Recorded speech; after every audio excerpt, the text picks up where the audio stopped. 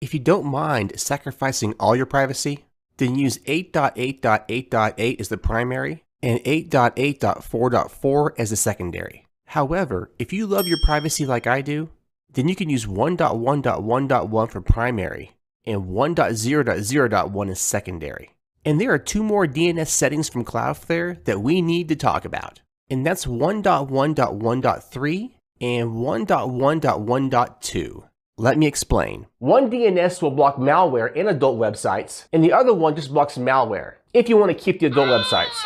So the DNS that blocks the malware and the adult websites, primary is 1.1.1.3, and secondary is 1.0.0.3. If you want to keep those adult websites, then primary would be 1.1.1.2 and secondary would be 1.0.0.2. Make sure to hit the save button or apply button. And just by changing this DNS setting, you now have faster internet